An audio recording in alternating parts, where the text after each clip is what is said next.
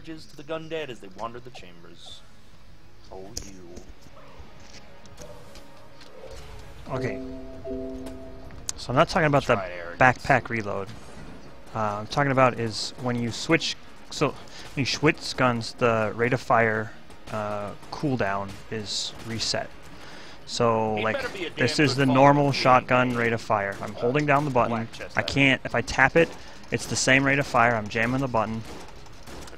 If I switch guns and then switch back, I can fire again immediately.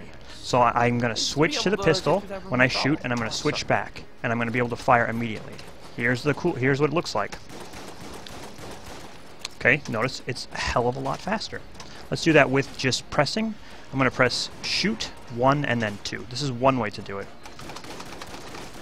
Okay, notice that that was my entire clip, instantly. fires a lot of shots Okay. when he does Uh, the way I've done it is with Should be pretty the quick okay swap.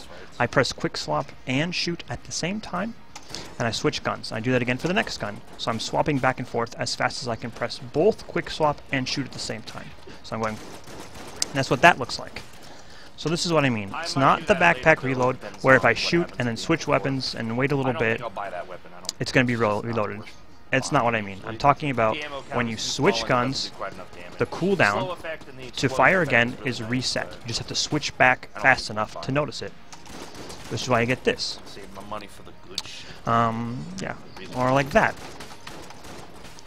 So that's what I mean with gun swapping. Like this.